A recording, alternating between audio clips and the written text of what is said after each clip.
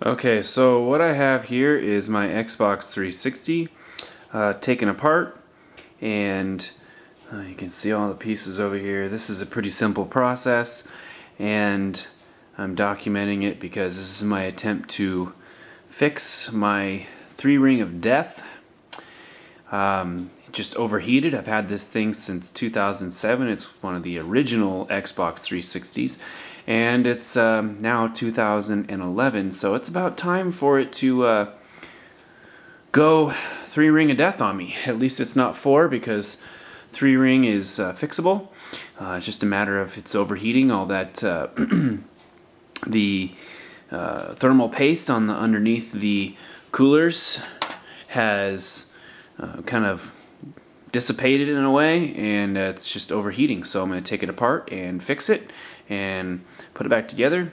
Shouldn't be too much of a problem. I have flashed number of Xboxes and their drives and um, that was a chore in itself so this should be pretty easy. I'll uh, document along the way. Okay, as you can see I have taken the Xbox apart and uh, there's pieces all over. I've gotten it officially apart. I've got the motherboard out, a lot of screws to remove, and as you can see once I removed the turn the light back on it's gonna be bright sorry but once I removed the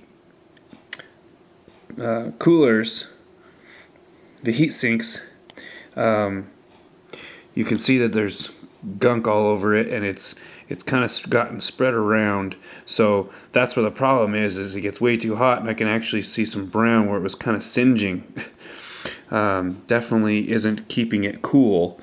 Uh, this stuff is way worn off and it's about time. So um, these were the original clamps that held held uh, the heat sinks, this one and this one on the back and we're going to be replacing it with uh, regular screws and rubber washers instead of using these.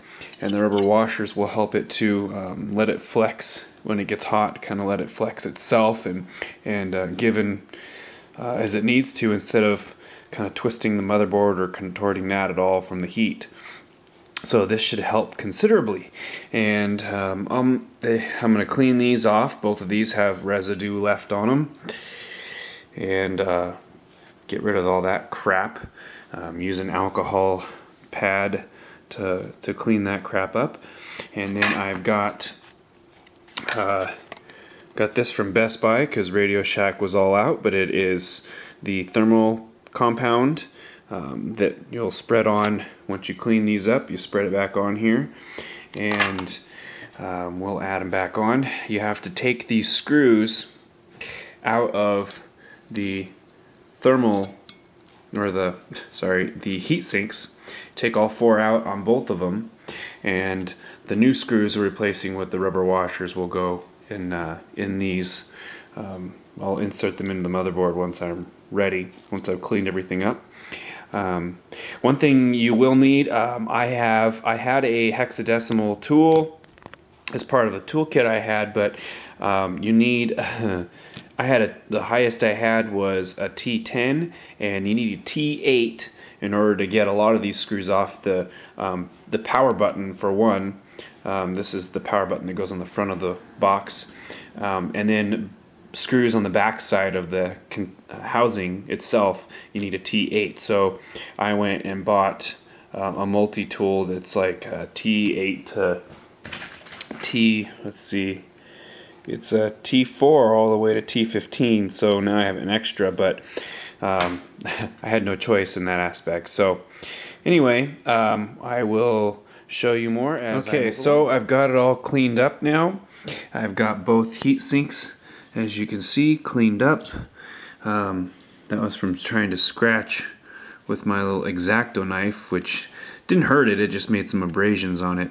Uh, and that one's really clean. I found out that um, what really worked good was using WD-40 and that actually cleaned these chips up really nice. You can see they're all nice and shiny. So I used sprayed a little bit of WD-40 on a paper towel and and uh, uh, used I first picked as much as I could off with like a tissue, just getting the goop off, and then just cleaning the chips up. I used WD-40 on a paper towel and just kind of you know lightly used a little bit, as little as possible, and it, you don't need much at all, and it will um, take it off and clean them up. So both chips are nice and shiny. You can see the reflection in them, and uh, so now I'm going to take my Dynex um, thermal compound and I'll apply a little bit to this one and um, these two here and then it comes with I got mine at Best Buy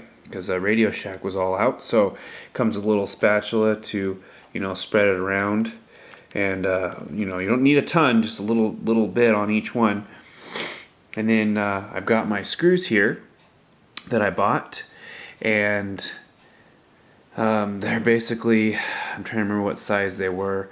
Um, I don't know. I'll have to put them on the notes on the YouTube video. But um, rubber washers, and I've got eight screws total um, because there are one, two, three, four, five, six, seven, eight, and they're for both heat sinks. And so preloaded a rubber washer on each one of them, and um, I'm going to put them on the other side of the motherboard and poke them through and and then once they get on I will load them again on the top with another washer a rubber washer so it's 16 rubber washers total and I went to Ace Hardware and got these and it was like seven something for all the washers and the screws and um, Best Buy had the um, thermal compound which cheaper than actually what um, Radio Shack told me they had it for. It was like 10.99 at Radio Shack, and and um, they had a different one. It was like Arctic something, but um, Arctic Silver, I think, is what Radio Shack had. And this stuff is just as good. I mean, it's the same thing. That all does the same thing. Um, Best Buy had it for 9.99, so it was a buck cheaper at Best Buy. And so once I apply all that, I will put the heat sinks back on and put everything back together and um, I guess apparently without hooking the fan up at the very end I'll leave that unhooked and I'll have to plug it in and I should get uh, three lights automatically and then down to two and then let it cool down after that and come back and I should be able to plug the fan up and have everything working again. Okay so I've got the uh, screws in as you can see here there's a screw you know all four of them are in and I have applied the thermal paste and this paste is uh, is white unlike other pastes that are silver um, but this should work nonetheless. It is the same exact thing. It's a thermal compound so it doesn't matter whether it's silver or white. Um, from what I hear when I was out looking for supplies that people were going to Best Buy to get them so to get the thermal compound. So um, now all that's left is to apply the heat sinks to the screws here and uh, put everything back in the housing, all the parts back, and then the power power button there and screw that back on. So um, I will come back to you when I have everything put back together and uh, the Xbox plugged in and we'll see how the lights uh, work from there because that's the true test. Um, sorry I haven't shown you how to take apart the Xbox or anything like that. Um, there are so many videos out there on how to take apart the Xbox that I am not currently worrying about that at this time. It is pretty easy to take it apart. Um, it, it's not rocket science. Anybody could do it. Uh, you just know how to take off the housing, then once you get in to the Xbox, it's pretty self-explanatory. So um, I don't really have any, I have no training in anything. I just love taking things apart. So it was easy for me. Anyway, uh, I will get back to you when I have the Xbox plugged up to the TV. And uh, uh, from what I understand, I'm going to have to let it go from three rings down to two and then turn it off and let it cool and plug back in the cooler. And then once I once that's done, everything should work. So I will see you there. Okay, quickly, uh, before I put everything else back together, I just want to show you, I've got the two heat sinks uh, screwed back in and uh, if you can see on the other side I have the four screws with the washers and and then if you see here you can kind of see underneath uh, there's a gap now that the washers are creating um, the, the rubber washers in the top kind of create a gap and allow for uh, will allow for some you know bend and move um, when when things get hot. Will allow it to kind of flex and move when it needs to. So that's the beauty of the rubber washers. Um, I've heard you know online that um, using metal ones isn't although you can it's probably not the best method and the rubber ones make sense to me uh, with the give and take that it will need when it is heating up so um, with that, now they're back together. I'm going to put everything back in the box and put it all together and we'll get back to you when I plug it in. Alright. Okay, so I've plugged the Xbox back up and uh, before I started the video, I actually forgot to grab my camcorder here and record this um, when I plugged everything back up, but I've got the power cable hooked in and I've got the HDMI cable in the back and I actually plugged in the fan. Now a guy online showed a video on YouTube stating that once he applied everything he had to um, leave the fan unplugged and then he, he plugged it in the power, turned the Xbox on and he got three rings and then it went down to two. Then you had to wait after that and let it cool down for the new, uh, you know, uh, compound, the new thermal compound to kick in and fuse with the heat sinks, and I'm like, that's a bunch of BS.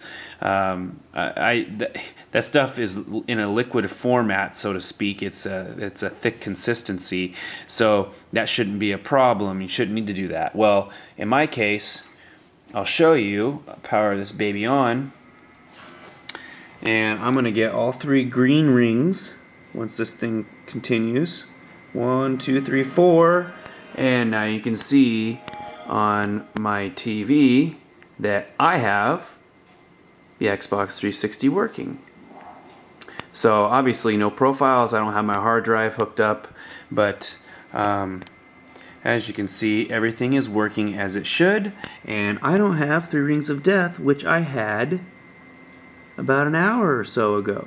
So, kudos to me. Uh, easy fix. And uh, I shouldn't have this problem again. If I do, then all I have to do is take it apart and add more of that uh, compound, that thermal compound, and I'll be back in business. All right. Hope this helps, and uh, good luck to all of you who have the three ring of death. If you have four, obviously it's a hardware issue and it's toast. But if you have three, then it's just an overheating issue and all you need to do is spend about 20 bucks or so and you got yourself uh, working Xbox 360 all right best of luck to everybody. Bye